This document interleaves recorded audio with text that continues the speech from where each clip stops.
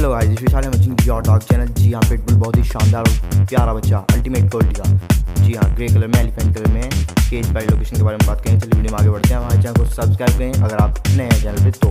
और वीडियो को लाइक ज़रूर कर दें ज़रूर।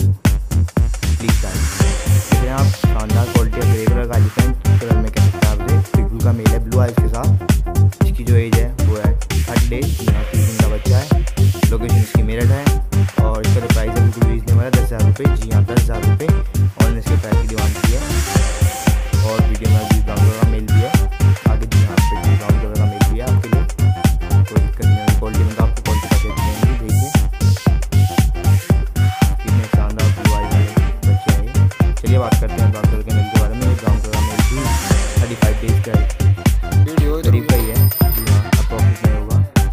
वीडियो इधर देख सकते हैं कितना शानदार इसकी लोकेशन भी सेम है। यूपी मेरा तो इसके जो प्राइस की डिमांड की है वो की नौ हज़ार रुपये जी हाँ बस नौ हज़ार रुपये डिलीवरी अवेलेबल नहीं हो पाएगी आपको इन दोनों पे। डिलीवरी नहीं है अवेलेबल चलिए, तब तक के लिए नमस्कार। वीडियो को लाइक ज़रूर करें और चैनल को सब्सक्राइब करने। Bye bye